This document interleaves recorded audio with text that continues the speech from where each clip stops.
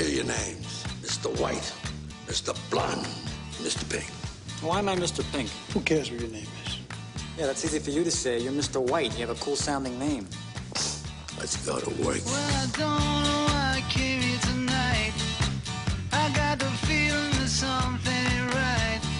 What happens if the manager won't give you the diamonds? Cut off one of his fingers. The little one.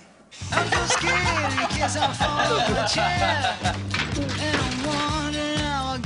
get down the stairs. If they hadn't done what I told them not to do, they'd still be alive. It's so hard to keep the smile from my face.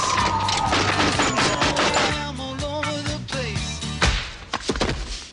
You're acting like a first year thief. I'm acting like a professional. And you flip me off a morning, slap you on my back and say, You're under arrest, sugar.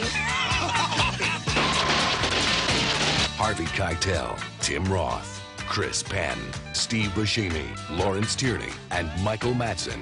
They're the Reservoir Dogs. Hey, Joe, want me to shoot this guy?